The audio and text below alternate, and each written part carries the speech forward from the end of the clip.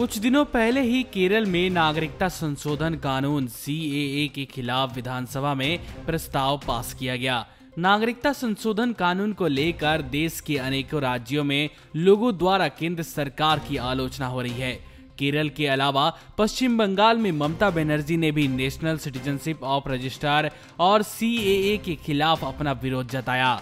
वहीं इसके बाद अब केरल के मुख्यमंत्री पिनराई विजयन ने सी के खिलाफ अभियान चलाने की ज़रूरत बताया है उन्होंने पत्र लिखकर 11 राज्यों के मुख्यमंत्रियों को लोकतंत्र और धर्मनिरपेक्षता के लिए एकजुट होने के लिए कहा है ममता बनर्जी और अरविंद केजरीवाल समेत 11 मुख्यमंत्रियों को लिखे गए एक पत्र में विजयन ने कहा, हमारे समाज के एक बड़े वर्ग के बीच नागरिकता संशोधन अधिनियम 2019 को लेकर आशंकाएँ पैदा हो गई हैं। मुख्यमंत्री विजयन ने लोकतंत्र और धर्मनिरपेक्षता की रक्षा करने के लिए सभी भारतीयों की एकजुट होने की मांग की है।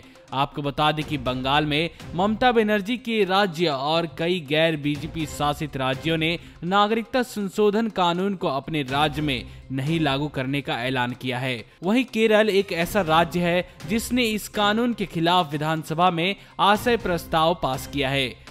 वहीं केरल विधानसभा में सीएए को रद्द करने वाले प्रस्ताव पास करने पर केंद्र मंत्री रविशंकर प्रसाद ने हाल ही में कहा था कि नागरिकता पर कानून पारित करने की ताकत सिर्फ़ संसद के पास है और केरल विधानसभा सहित किसी राज्य विधानसभा को यह अधिकार प्राप्त नहीं है। केरल को देखते हुए तमिलनाडु और पंजाब के विधायकों ने भी विधानसभा का विशेष सत्र बुलाकर सीएए के खिलाफ प्रस्ताव पारित करने की मांग की है।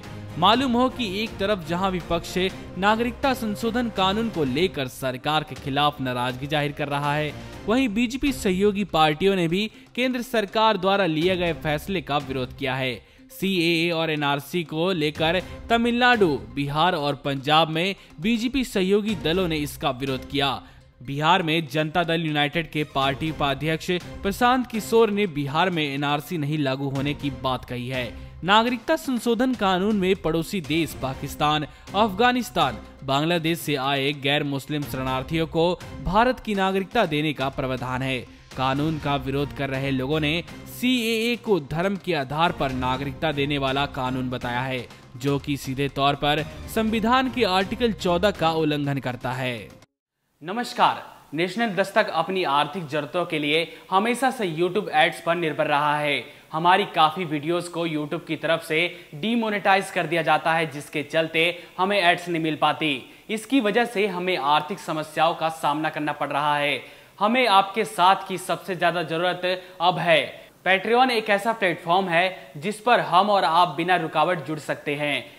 इस प्लेटफॉर्म पर आप हमें सीधा फंड कर सकते हैं, जिसका मतलब हुआ कि हम आज़ादी से पत्रकारिता कर पाएँगे। आपसे सीधे फंडिंग पाने का यह भी मतलब हुआ कि हम नैतिक रूप से आपके अधीन हो जाएँगे और आपकी आवाज़ को और बुलंद कर पाएँगे। आप पेट्रियन पर मात्र दो डॉलर करीब एक सौ रुपए प्रति माह से हमारी सहायता कर सकते हैं। पेट्रियन क्रेडिट कार्ड और डेबिट कार्ड दोनों ही सपोर्ट करता है। हाँ ज़रूर ये है कि पेट्रियन के लिए आपके कार्ड पर इंटरनेशनल ट्रांजेक्शन अलाउड होने चाहिए।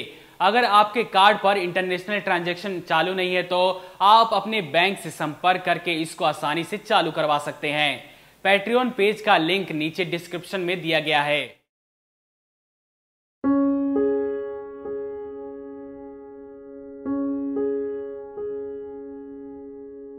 नेशनल दस्तक को देखने वालों से अपील है कि वह नेशनल दस्तक के सपोर्टर फॉर्म को भरें ताकि हम सीधे आपसे जुड़ सके। नेशनल दस्तक की आपसे गुजारिश है कि अगर इसको बचाना चाहते हैं तो नेशनल दस्तक को सब्सक्राइब करने के लिए रेड कलर के सब्सक्राइब बटन को दबाएँ, फिर बेल आइकन की घंटी दबाएँ। नेशनल दस्तक को बचाने के लिए बहुत ज़रूरी है कि हर खबर को शेयर करें, लाइक करें, कमेंट ज़रूर करें।